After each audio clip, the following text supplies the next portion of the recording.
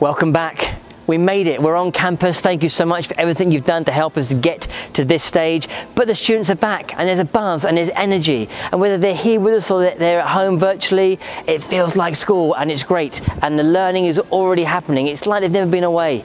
They're straight back into it. Amazing stuff that we're already seeing. I thought you don't want to listen to me, you want to see what's going on. So enjoy this short montage.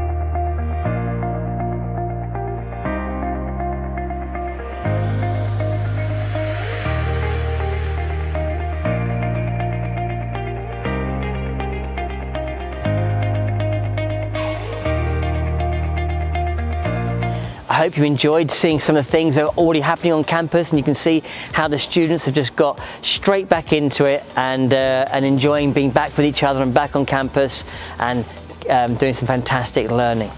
Please do make sure you read the newsletters again. Lots of information still coming out in its early stages. Check that. All your details are there. It's there to make sure you've got all the information you need. If you've got any questions, of course, please feel free to contact us. And we will see you all next week for our first full week. Stay safe, stay distanced, go Bulldogs.